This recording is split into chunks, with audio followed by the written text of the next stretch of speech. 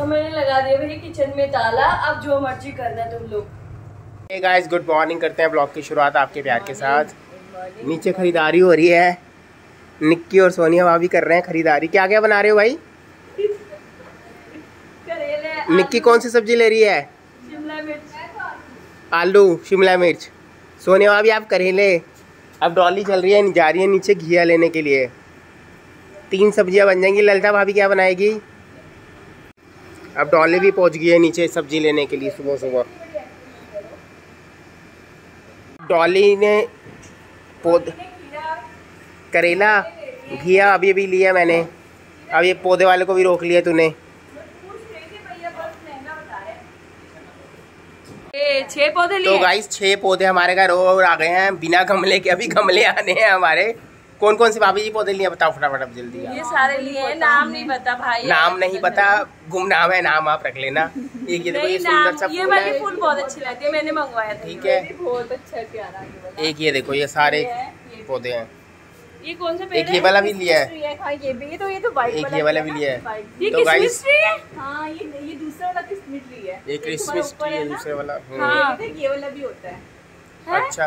तो गाइस आप देख लीजिए कि ये वाला फ्लावर्स लगा ये क्रिसमस ये ट्री लग रहा है। है। ये पीच कलर का है ये पिंक कलर का, है, red ऊपर हमारा है। ये रेड कलर का ये है देखो ये कितना हाँ। प्यारा है इसके आज गमले ले आएँगे इसके ठीक है ना? आज वाइट हम गमले लेके डॉली गमले ले आएँगे इसके हाँ जी, ठीक है ना? आज तभी तो लगेंगे बेचारे नहीं तो ऐसे गिर जाएँगे। भाइयों पेपर कैसे हुआ? आज तो बढ़िया हुआ है आज तो बढ़िया हुआ मतलब पहले बढ़िया नहीं हुआ था? ये एक ही पेपर हुआ ठीक हुआ था वो पर आज का बढ़िया हुआ चालू। आज का ज़्यादा बढ़िया हुआ है। चलो ठीक है भैया। अब नेक्स्ट पेपर कब है? मंडे को ऐसी मंडे को है। पानी पुनी पियो गाइस डॉली आ गई है बेडशीट लेने के लिए। ये वाली पसंद आ रही है क्या गिफ्ट देना है किसी को? किसको देना है? घर में ही? में ही देने भाभी को। देखो गाइस ये एरिक ओपन करके दिखाना। इसका पिल्लो कवर दिखा दो पिल्लो कवर ये पिल्लो कवर ओपन करके। ये ए वाला डिज़ाइन आएगा? पूरी बेडशीट में ऐसा डिज़ाइन आएगा बढ़िया सी। हाँ। अच्छा बहुत साइड बॉर्डर है। ठीक है। तो वाली बेडशीट पसंद आ रही है। काकू को पसंद आ गई है पबजी वाली बेडशीट है ये वाली। हाँ। और ये कौन सी है? ये बारबी वाली बारबी वाली है। ये वाली कौन सी है? ये वाली मेरे को नहीं पता। ये वाली पता सुपरमैन वाली है। ये केड़ा करेक्टर है? रोबोट है मतलब रॉबर्ट वाली है। ए वाले से ए वाली खोल के दिखाने को जरा। पबजी वाली। पबजी वाली लेगा। ये भी छाएगा? हाँ। तो गाइस बिल्कुल डार्क कलर है पबजी वाला। बिल्कुल अंदर से। हाँ जी ले ली बेडशीट पबजी वाली? स्कूल से आते ही अब टिफ़िन लेने जाना है? हाँ डॉली चले जी? हाँ जी काकू जी। हाँ काकू जी। हाँ कौन से वाला पसंद है? ओपन करके दिखाओ कैसा होता है एक बार ओपन करके दिखा दो गाइस को। इसमें ऊपर फोकर स्पून होता है। फोकर स्पून होता है और एक एक सब और रोटी रखने के लिए। ठीक है। ये भी आपके सही तो है पहले भी तो यही वाला है। पहले पता नहीं कौन सी कंपनी का है। अब और कुछ देखना है आपने? मिल्टन की थी शायद मिल्टन का की। काकू ये वाला रहने दे इसके ऊपर दिखाना जरा। इसके ऊपर ये ये वाला कवर लगा हुआ इसमें जो सब्ज़ी वगैरह होगी गिरने के बहुत चांसेस है यार। कौन सा कलर अच्छा लग रहा है? अब तो देख लें इन दोनों में से कौन सा कलर लेना है ठीक है? काकू आ गया है। कौन सा शेक पीना है? किटकैट शेक आपने? मिक्स वाला जूस। भाई साहब एक किटकैट शेक को कर दो दो मिक्स वाले जूस कर दो ठीक है ना? हाँ जी आ गया का हाँ कौन से वाला शेक है? Oreo shake Oreo shake Oreo shake लिया किटकैट शेक नहीं था नहीं था किटकैट जी हाँ जी। आओ जी। चले ट्यूशन खाना पीना चलो स्कूल चले ट्यूशन चले। स्कूल आपके साथ अभी होकर आए थे ना? हम्म। तो ओले हाँ जी। मैसेज आते हैं किसी दिन आप अपने जो प्लांट उगाए हैं पौधे उगाए हैं उसका ब्लॉग बनाओ नाम बताओ अपने अपने का। अब तो मुझे पता अब ही। है अब माली आएगा ना?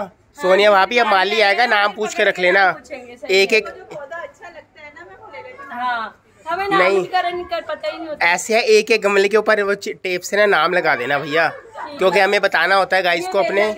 है तुलसी नहीं है ये सदाबहार है कुछ कुछ कहते हैं। हाँ। लाल फूल को उस दिन आपने क्या बोला था? ये डॉली ने बीज डाला था जामुन का पौधा। जामुन पौधा कितना बड़ा हो गया। कितना बड़ा जामुन का पौधा हो गया ये देखो इतना बड़ा। इतना बड़ा जामुन का पौधा हो गया यहाँ पर ये लगा ये लगा हुआ ना? हाँ जी ये वाला ये लगा हुआ है कितना बड़ा हो गया। कब कितना टाइम हो गया? हो हो गया काफ़ी टाइम इतना बड़ा होने को काफ़ी टाइम हो गया लगाई थी मैंने। इसको किसी ज़मीन की ज़रूरत है। इसकी हाँ। तीन महीने में इतना बड़ा जामुन का पौधा। आपको जी? हाँ जी। ये आपने टहनी काहे तोड़ी? मैंने नहीं तोड़े इसने तोड़ के दिया काहे? कड़ी पत्ता है? क्या कड़ी बना रहे हो तुम लोग क्या आज? या फिर कड़ी का पत्ता क्यों लिया? पे गई है। यार मैं घिया ही खिलाऊँगी। मेरे को परेशान मत क्या हो गया आप? करो। अरे आज घिया बनाऊँगी घिया बनाऊँगी यार आप आगे दुकान से? आ, दिख नहीं रहा। साक्षात दिख नहीं रहा तुझे आगे तो। क्योंकि दिमाग खराब कर रखा है इन दोनों ने। क्यों? क्या हुआ? ले लिया मैंने कहा चल ले लेती हूँ कि तुमसे सब्ज़ी बनाई नहीं है तो तू तैयार होकर कहाँ गई थी भाई? दोपहर को भाभी वगैरह आए हुए थे ना हम्म, तो उनके साथ चली गई थी ट्यूशन गया हुआ था तभी ट्यूशन आया थोड़ी देर हम चले गए थे। फिर? फिर मैंने कहा चल आके इनसे पूछ रही हूँ कि मुझे क्या खाओगे? उन्होंने बोला कि भाई आ जाओ खाना पीना खा के चले आना। ये कहते हमने घिया नहीं खाना। क्यों नहीं खाना यार घिया हर रोज तो बनाते हर रोज खा बना हाँ दूसरे दिन घिया नहीं बनता भाई दूसरे चौथे दिन घिया नहीं बनता। भाई तीसरे चौथे दिन हम घी में घिया बनाओगे खाना खाओ नहीं खाना मत खाओ मैं लगा रही हूँ देख लो किचन में ताला लगा रही हूँ। बस अब तुम बाहर से खाओ कहीं से भी खाओ मुझे कोई मतलब नहीं है। अब जो मर्ज़ी करो भैया मेरे को मत डालो बीच में। हाँ बस। बस मैं क्यों मैं रोज परेशान हो चुकी तो मैंने लगा दिया भैया किचन में ताला अब जो मर्ज़ी करना तुम लोग। हम ताला खोल लेंगे। चाबी दूँगी तो खोल लोगे? कैसे दे दूँगी? अपनी मेरी जेब में से कोई नहीं निकाल सकता हम निकाल सकते हैं ठाकुर। निकाल लो। अच्छा मैं बना देता हूँ यार सब्ज़ी। तूने क्या खाना है? मैं घिये के कोफ्ते। हाँ। मैं बना देता हूँ घिये के कोफ्ते। तो पहले बोलना चाहिए था फिर इतनी कलेश इतनी ड्रामा क्यों करवा रहे थे मुझसे? मैंने थोड़ा ना बोला तुम ही लड़ाई कर रहे हो मैं तो कुछ बोला मैं तो अभी दुकान से आया हूँ तो तुम बोली आ रहे हो आपस में। कि मम्मा घिया नॉर्मल मत का बनाओ। सार्थक भी नहीं खा रहा नहीं वो भी मना कर रहा था नहीं खाना नहीं खाना नहीं खाना कर रहा था। मैं वो तू रख दे मैं कोफ्ते बना रहा हूँ घिया के रख दे भाई। लौकी के कोफ्ते बनाने के लिए मैंने रिफाइंड ऑयल लिया था उसमें थोड़ा सा डाल दिया मैंने ज़ीरा ज़ीरा भुन रहा है थोड़ा सा। और मैंने काट के रखे हैं, प्याज ऑनियन चॉप करके रखे हैं और डालेंगे।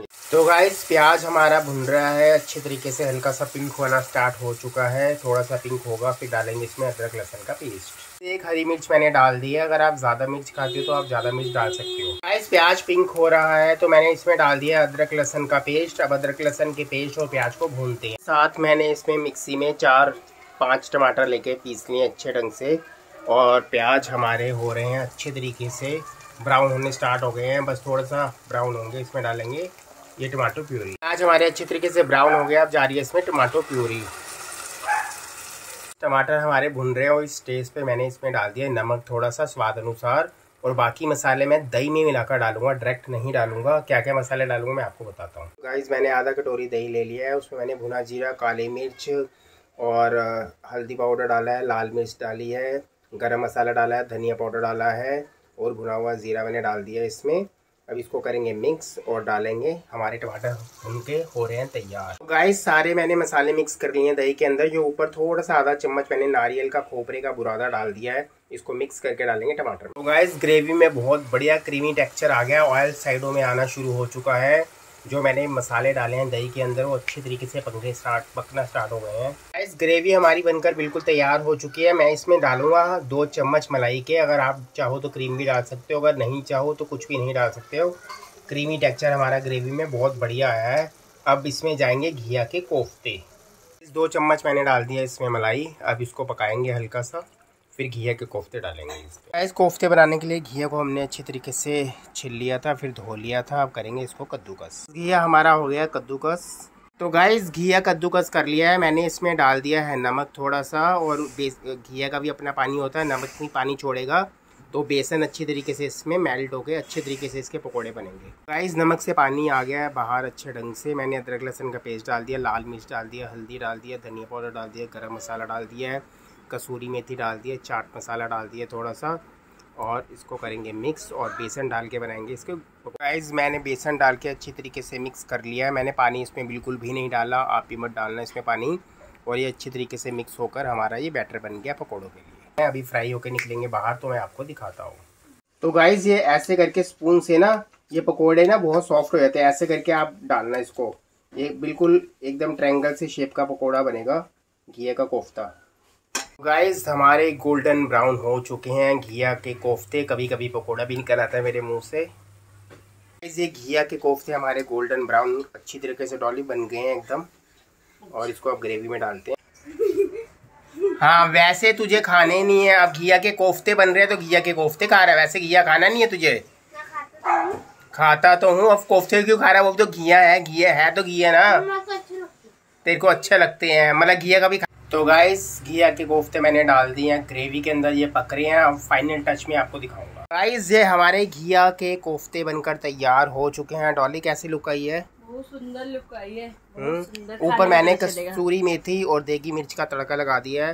क्या मस्त वाली जो लुक आई है मस्त इसकी लग रही है यार। लग रहा है मस्त ना? हाँ। इसी के साथ करते हैं ब्लॉग का एंड मस्त कोफ्ता खाकर। मस्त कोफ्ते भी बना दिए हैं घी की रेसिपी भी दे दी है हमने कोफ्ते वाली। के कोफ्ते की घिया के कोफ्ते की रेसिपी घिया की कोफ्ते की यार गलती हो गई कोई बात नहीं। और किचन का ताला खुल गया तभी तो बना है, ऐसे कैसे बन गया हाँ तेरी मम्मी की ट्रिक समझ गया हूँ बेटे ये खाना बनाने का हमेशा ना मना करूँगा पापा के खाना बनाएँगे ये तुम्हारी ट्रिक समझ गया हूँ मैं। चलता कभी कभी गलती से चलता तो गाइस इसी साथ करते हैं ब्लॉग का एंड चल। बाय।